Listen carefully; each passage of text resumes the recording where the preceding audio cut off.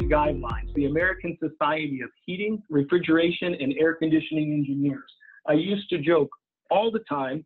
This was a group that I wanted to hang out with and party on a Friday night. Of course, that was sarcasm because as I read through their uh, the ASHRAE guidelines and uh, all the updates and stuff they make, it's to me is dry, and some of it's above my level of intelligence. But as irony would have this, I'm now a, a uh, paying member of the ASHRAE Society, and they provide something that is incredibly valuable to data center uh, operators, data center owners, and anyone uh, who works in facilities that has uh, work within a data center. Uh, Mark Monroe, I had him, sorry I didn't mention him, his picture was um, on one of those first slides where I had the global data center leaders. Mark is um, absolutely a kind and brilliant man. He has been a uh, independent consultant for years. Most recently, he was hired by Microsoft to develop their next generation of efficient data centers.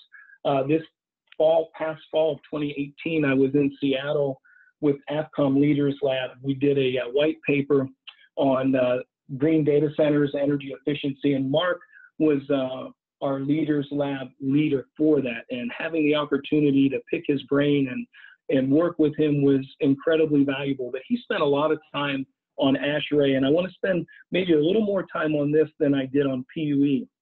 But I always very much focused in on the recommended the recommended guidelines from ASHRAE, which tell me uh, where we see the A1, 2, 3, and 4, that's the class of server and equipment.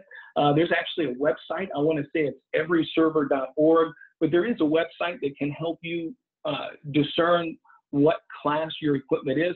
But let's make this safe assumption. Let's say that everybody has class A1 equipment in their data center.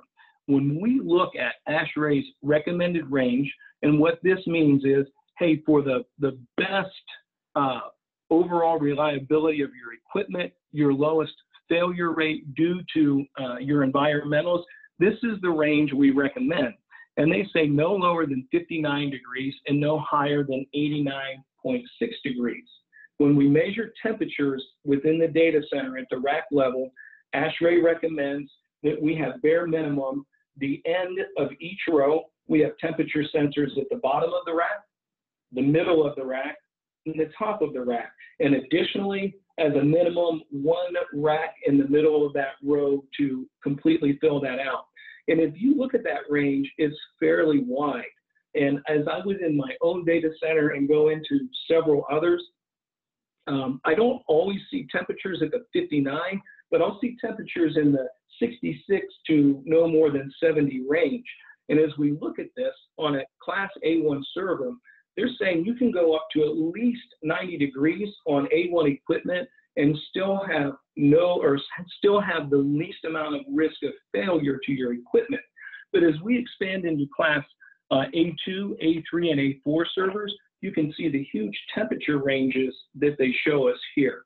So again, the recommended range was very small, and then they go to an allowable range that tells us, hey, we realize that the server switch and storage manufacturers, that their equipment is becoming more dense, that they are doing everything in their uh, uh, design capabilities to make servers more efficient and not have such a, a deep need for uh, extra amounts of cooling. So if there's one thing that you would take away from this session today, uh, this, this is one of the slides that will help you the most is understanding those guidelines, how to live within them without affecting reliability and staying within them to get the greatest amount of efficiencies in your data center. And this to me was um, a funny slide. Uh, Mark had this in our Leaders Lab workbook. Um, we're not suggesting that you keep your data center at 95, but what we're suggesting is this, is that you understand the ASHRAE recommended and then the allowable envelope, and that you learn proper techniques to safely increase those temperatures where your equipment and your mechanical equipment and your IT equipment are operating at a very efficient level. And I will show you, I believe here, yes, so David Moss from Dell, he came up with this uh, very simple but incredibly accurate way to find what we call your sweet spot. And that is we want to have our set point and the amount of cooling we're provided. We don't want to give the equipment not one drop more than what it needs. Uh, so David Moss came up with this technique. I use this all the time. In, in every data center that I've used this, set points between 76 and 82. Uh, over the course of 48 months, I've not had one equipment failure. And the reason is I followed ASHRAE guidelines, I measured PUE, and I used this simple method from David Moss. So the idea is this, you want to have a measurement for your PUE. And I would recommend if you do this, that you're doing it on a very hot middle of the afternoon day when the load is heavy. Why? If you can get it to function uh, and survive properly in the hottest, heaviest moments uh, of your day, then you know you will be good throughout the 24 hour time period. But you'll measure your PUE and you would start to raise your set points one degree at a time. Um, I, to be honest with you, I actually, I'm impatient and I found that for me that it seems like it takes about two degrees to uh, affect uh, compressor cycle change. Um, but one degree is good. And what happens is you raise that set point one degree, you allow the system to stabilize. I do a lot of this, walk up and down the rows uh, that that CRAC unit is supplying air to. I try and get a good listen to the CPUs. Are they ramping up? Are they staying the same? Um, I do a lot of measuring of temperatures with um, an IR gun and temperature strips. And I just make sure that that one degree didn't cause any issues or that it's not stressing or causing reliability issues with the equipment. And you continue this process. And uh, I'm sorry, I left out an important point. After every degree, you want to measure your PUE again. You want to see where you're at and is that ratio changing.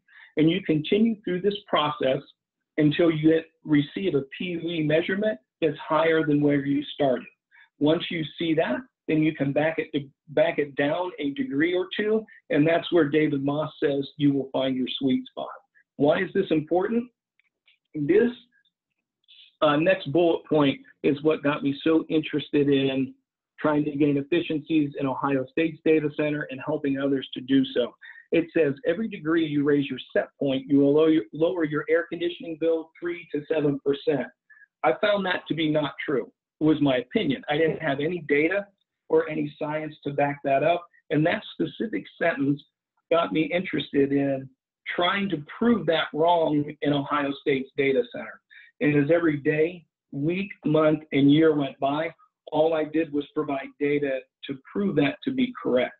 So you are measuring your PUE, if you know the amount of kilowatt hours you're using for IT equipment and also for your mechanical equipment, you can start to quantify and see how a 3 to 7% savings over the course of a week, a month, a year would add up and be very, very significant.